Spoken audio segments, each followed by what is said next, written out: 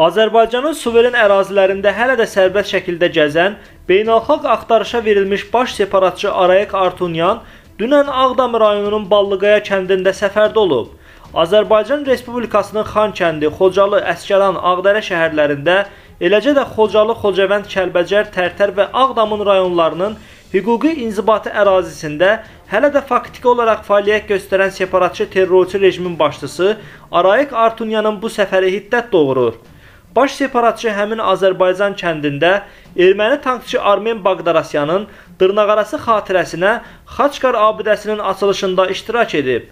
Arayek işğalçı hərbiçinin ailə üzvlərinə onun layiq görüldüyü birinci dərəcəli döyüş xaçı ordenini təqdim edib. Xatırladaq ki, ermənilərin Kiçan adlandırdıqları Ballıqaya yaşayış məntəqəsi Azərbaycan Respublikasının Ağdam rayonunun Sırxavənd kənd inzibati ərazi dairəsindədir.